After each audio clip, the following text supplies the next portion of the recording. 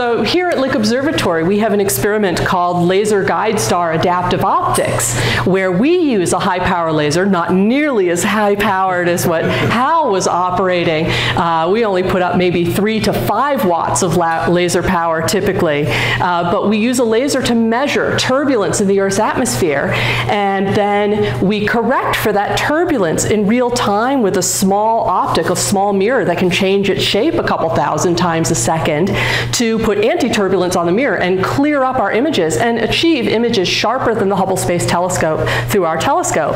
But the laser operations, of course, are fraught with uh, communications with the FAA and with US Space Command as well, because some of our laser light, of course, goes right through the Earth's atmosphere into space.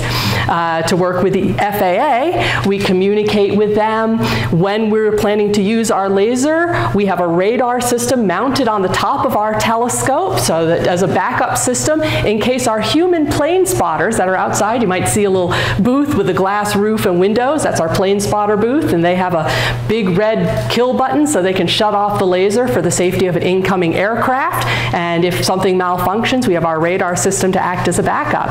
Uh, and so we use the laser routinely. We also have people in space, and our laser could potentially damage the eyes of an astronaut or a downward looking camera. So I also communicate with the Air Force Space Command and let them know what we're going to look at on any given night, and they'll tell us when we need to shut down our laser to make sure that we don't blind a satellite or an astronaut.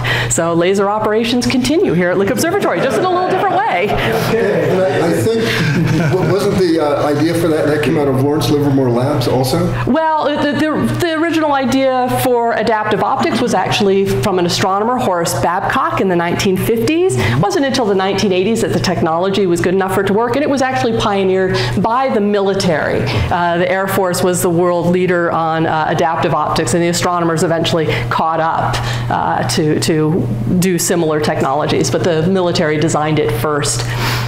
And I think uh, Shane, this telescope was the first one to actually use it, is that correct? So yeah, the Shane telescope is notable with adaptive optics because we pioneered the use of a sodium laser guide star uh, using a sodium uh, frequency laser to uh, do adaptive optics and make it useful for general astronomical science. So we were the first telescope in the world to be doing science with laser guide star adaptive optics, improving the technology and enabling other telescopes to do the same. And now all large telescopes in the world pretty much have laser guide star adaptive optic systems due in part to the work we did here at Lick Observatory. Fantastic.